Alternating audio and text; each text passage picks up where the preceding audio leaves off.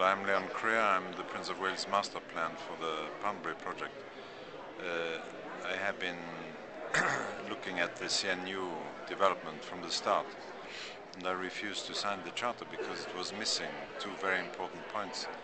One was on density and one was on style, and I think it's this having lacked uh, more definition in those two areas brought into the direction of the CNU contradictions and incoherences which I think uh, avoided it becoming more important.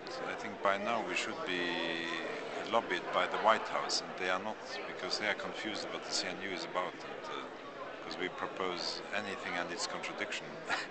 and I think it should be really something to do with uh, uh, rebuilding traditional uh, networking and structures and styled on traditional technology. Uh, and because otherwise all the other stuff is looked looked after already by the reigning systems, and we don't need to help them. And, uh, I think that is what needs to be reformed within the CNU.